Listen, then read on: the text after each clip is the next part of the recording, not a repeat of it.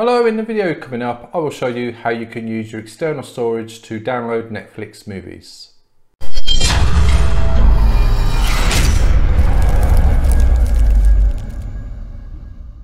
If you use Netflix, and let's face it, who doesn't? It's great. It's a great way to spend some time in the evening or on the weekends just to catch up with your favorite series or movies. There's so much you can do with Netflix.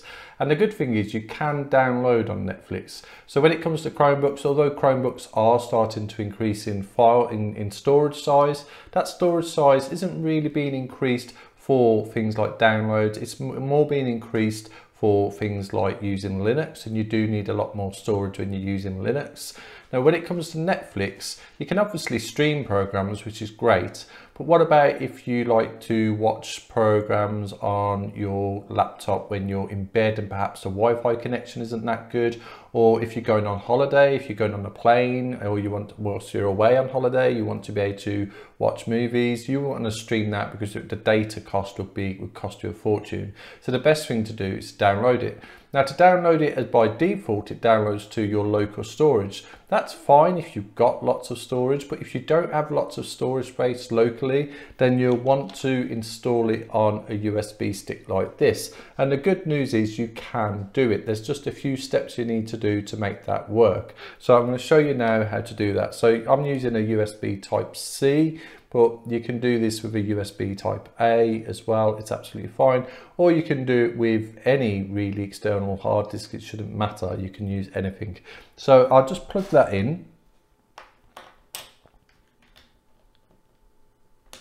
Okay, so that's plugged in now. And then from here, you'll see open settings and that's what you want to do. You want to open settings, but we won't do that for now because I'll show you how to get it if this doesn't come up for any reason.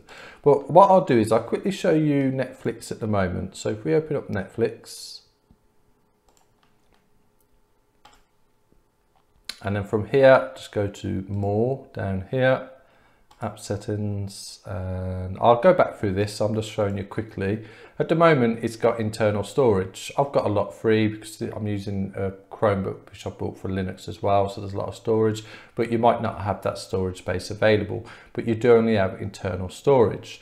So to get around that even though I've just installed the USB stick you can see it doesn't give you that option and the reason for that is that you have to let Chrome OS know that you want Android apps to be able to use your USB stick.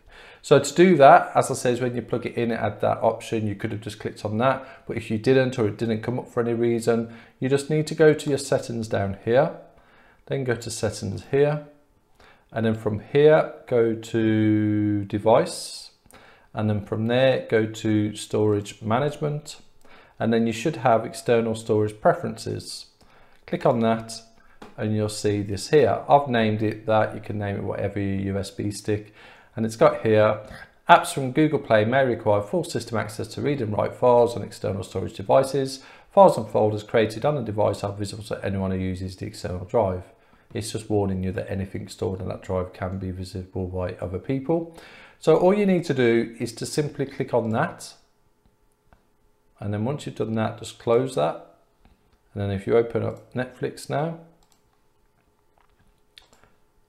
and if we go back to settings, so it's on more here. Netflix may look different depending on the, the um, laptop you're using or how big your Chromebook screen is. So this is just a guide, but it's more and then app settings there. And as you can see here, we've got download location. It's currently on internal storage click on download location and now you'll see that my SD card showing. Just simply click on that and that's it. And as you can see, it's already got 457 megabytes on it. That's because I downloaded a movie just to make sure it all works and it does all work. So then you can watch Netflix movies without being connected to the internet, which is great. And I think it's great because it isn't just for people who are going on holiday. This is also for people if you're if you're in a, Wi-Fi spot which is not that great around your home. It's great for that. Or even if you're going to work, it's good to have some shows on Netflix downloaded. So it is really good. Now the good thing is as well, once you've done this, you don't need to do it again. So now it's done. Say for example, let's just close that. If I take out my, I'll just show you the settings. So it's device, storage management, external storage, you can see that's on. Yeah, so what I'm going to do is I'm going to take out the USB stick, but you never take out a USB stick just by taking it out. You need to go to File Manager first and you need to eject here. If you don't do that, you can corrupt the disk. So always make sure you do that before taking it out, or obviously turn off the Chromebook first and then take it out. That's absolutely fine. So I'll take that out, okay, and then I can take it out. And what I'm showing you now is that now we've done it once, you don't need to do it again. So that's the USB stick. We close that down, open that, put that back in. Like that. And then open settings. So this is the other way you can do it. Just go to open settings you'll see that it's already on. So it actually remembers the USB stick, which is good. So you don't have to do it every time, which is great.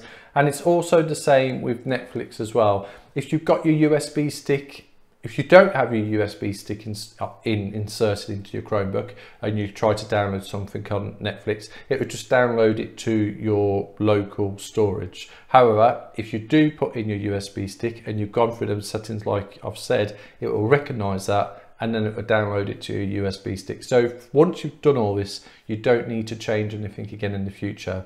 So it's really, really good. Um, I hope you liked this video. If you did, please like and subscribe to the channel for future videos and thanks for watching.